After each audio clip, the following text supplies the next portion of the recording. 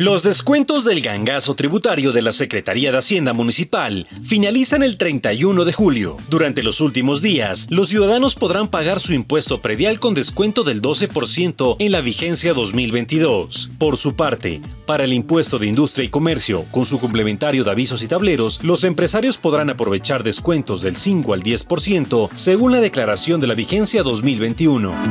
Durante la conmemoración del Día Mundial de la Lucha contra la Trata de Personas, desde la Secretaría Secretaría de Gobierno desarrollamos una feria de servicios en el Parque Rumipamba para que la ciudadanía conozca sobre este delito. Además, en el auditorio de la Alcaldía de Pasto se realizaron ponencias donde las autoridades expusieron a la comunidad las metodologías para evitar ser víctimas de este flagelo y las rutas para denunciar ante las entidades judiciales.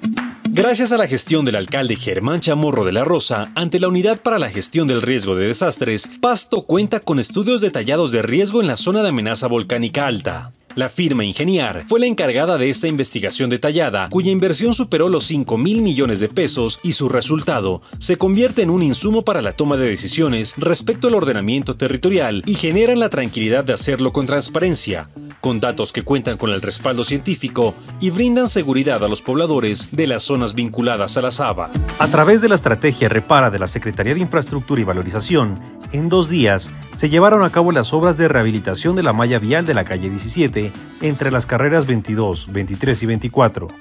De igual manera, se intervino el intercambiador vial Agustín Agualongo. De esta manera, se mejora la capa asfáltica de las vías concurridas de la ciudad para mejorar la movilidad y garantizar la seguridad de peatones, biciusuarios, motociclistas y conductores de vehículos livianos y pesados.